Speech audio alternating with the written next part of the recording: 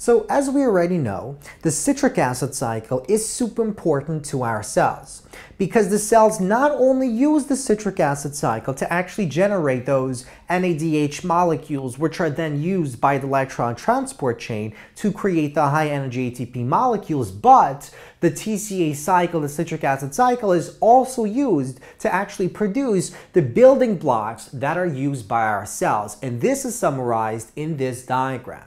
So pyruvate is transformed into acetyl coenzyme A via pyruvate decarboxylation and then that acetyl coenzyme A is fed into the TCA cycle, the citric acid cycle.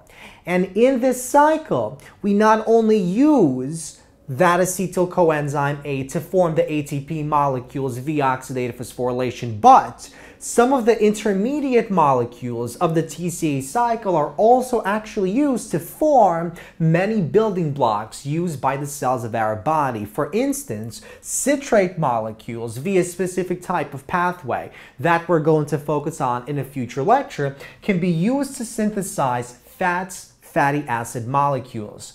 Alpha ketoglutarate, another intermediate of the TCA cycle, can be used to form glutamate amino acids and other amino acids, and we can also actually form purine nitrogenous bases.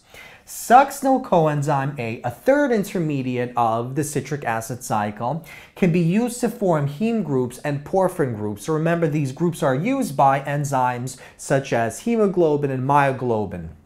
And we also have oxaloacetate that can actually be used in gluconeogenesis to form glucose molecules. And on top of that, we can also use oxaloacetate to form other amino acids and purine nitrogenous bases as well as pyrimidine nitrogenous bases. So the point is, this is the center of metabolism.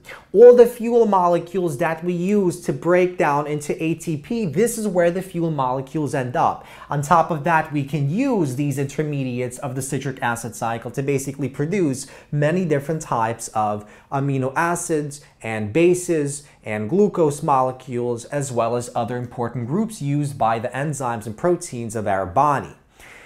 Now, what I'd like to focus on in this lecture briefly is the following idea.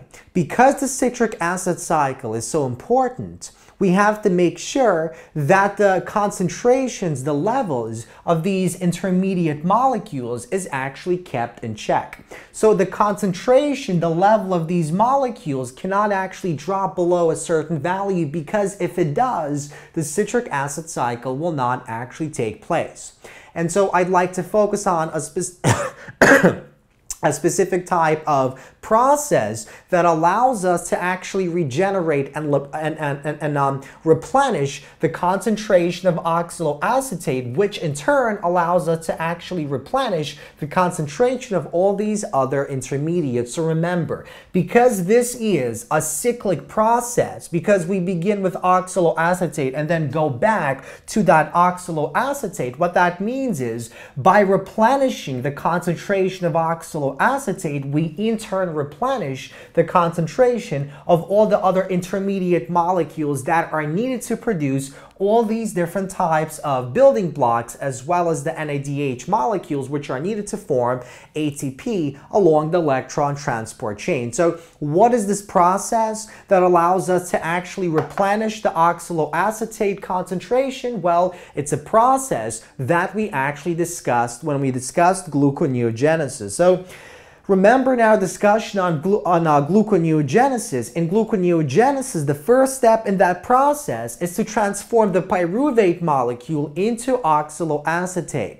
And the enzyme that catalyzes this step is pyruvate carboxylase. So pyruvate carboxylase essentially attaches a carbon dioxide molecule onto that pyruvate to form oxaloacetate. In the process, we essentially break down an ATP to drive this process in this direction. So we see that by attaching a carbon uh, dioxide onto the pyruvate, we are able to form the oxaloacetate, and that allows us to keep, to maintain a specific minimal level concentration of the oxaloacetate within the citric acid cycle, which in turn allows us to maintain a specific level of the other intermediates, and that allows all these important processes to continue taking place inside our cells. So, for the citric acid cycle to keep up with the energy demands of the cell and the demands of producing all these different types of biological building blocks, the concentrations of the intermediate molecules within the TCA cycle must be regulated. So we must maintain a minimal level of those intermediates. So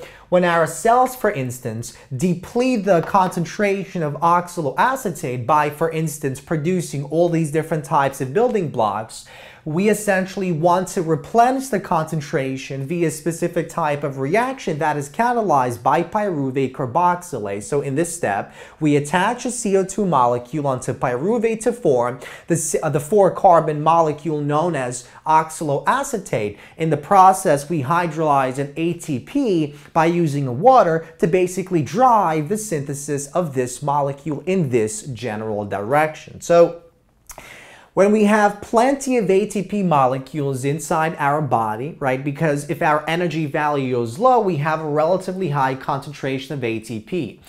Under these conditions, the oxaloacetate will be transformed into a variety of products. Why? Well, because we're not going to need to use the oxaloacetate to actually generate those NADH molecules, to use the NADH molecules to produce ATP via the electron transport chain. And so instead of using the oxaloacetate to produce ATP, we're going to use the oxaloacetate to generate all these different types of biological molecules such as glucose, specific amino amino acids, purine bases, and pyr uh, pyrimidine bases.